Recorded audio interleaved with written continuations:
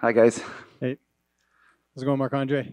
How does it feel to be uh, back in Canada fighting? I know it's not Quebec, not Ontario, but uh, still great to be out here in front of some Canadian fans. Yeah, for sure.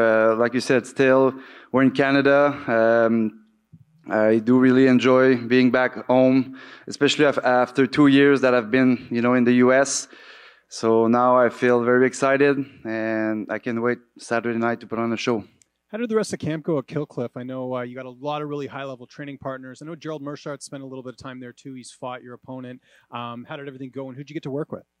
Yeah, actually, I, I you know, I worked with Gerald uh, a couple times. He's a great dude. You know, he he's been there, done that for a long time.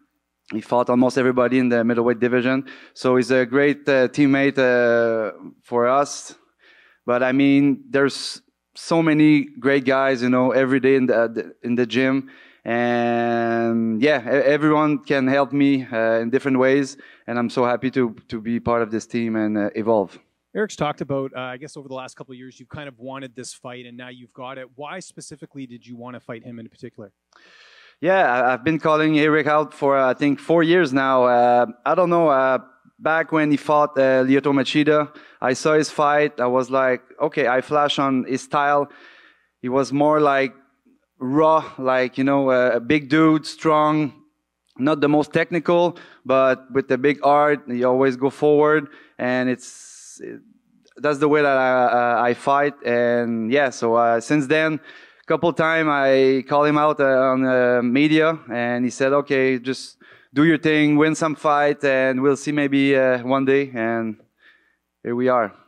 Did you know that he's he told us up here that he's only got about five fights left? He's kind of looking, you know, ahead a little bit. Um, do you think that'll play it all into the fight that he's kind of already sort of thinking about what's after fighting?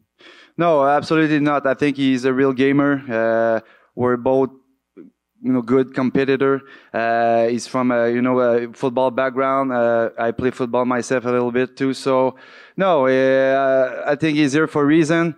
Um, and uh, I think we are at the same, you know, level of our career right now. So we are, we just looking for a good fight, one fight at a time. And that's it.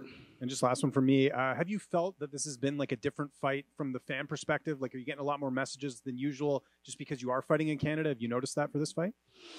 Not really. I feel like you know since since my debut, you know, I had a very like roller coaster uh, career, uh, but I feel like I always have the support from my, my Canadian fans.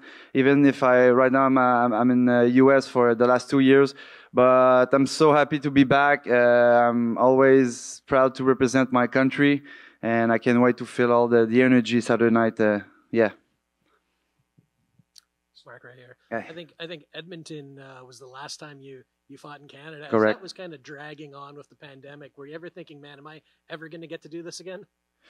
Uh, yeah, man. At, at that time, I was like, I was more concerned about finding the right, the right pieces that I, I was missing to, you know, just to build my career and be at that level.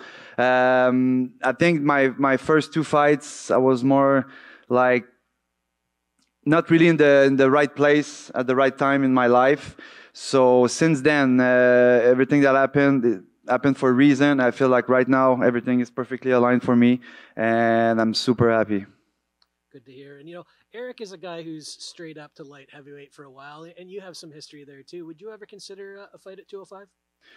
No, I feel like uh, 205. Uh, the guys are very big, man, and I'm not the biggest middleweight, so, but I'm.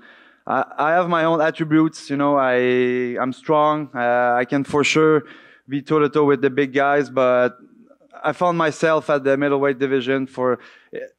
I I started even amateur as a middleweight, so I've never go go down to 170, and I don't think I'm gonna go up uh, either. So I feel like I'm in the right spot.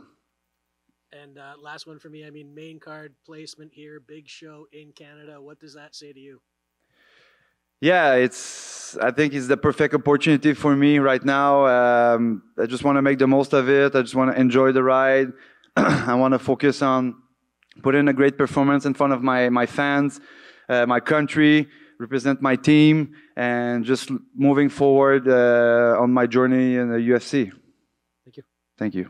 Hey, Mark, over over here. Uh, earlier today, Eryk said he didn't think he was entering hostile territory coming into Canada. What do you think about that? And how do you think uh, the Canadian fans will maybe react uh, when you come out and, and face him?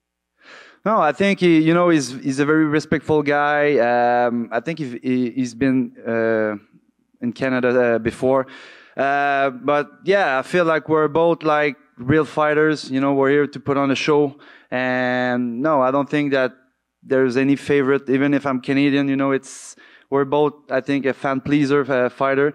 So that's gonna be very interesting for uh, everybody. And I know you said you're you're proud to be fighting, uh, you know, in front of uh, Canadians. Do you have any connections to BC or Vancouver? Have you spent much time out here before?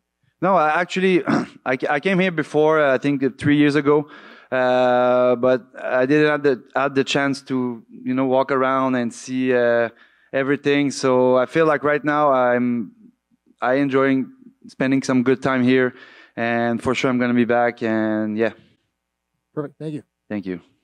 Question to your left. Yep. Um, before your last fight, in an interview with James Lynch, uh, you talked about how in the first round uh, it's going to be quite tightly contested. When it makes it to the second round, you are going to pick up the pace and get a TKO victory, uh, and that's exactly what happened. So my question is, do you have a prediction for this fight? I mean, every time, you know, everything can happen in a fight. For sure, we have a game plan.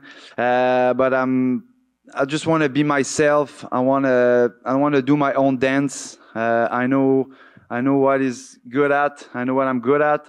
So we just, we, we're going to meet each other in, uh, in front, in front of the cage and we're going to do, uh, our things. But I feel like, like I said, every time more the fight goes, more I'm getting dangerous. Um, that's why they call me Power Bar. And uh, again, I work a lot on my, my conditioning, my cardio, my fighting IQ.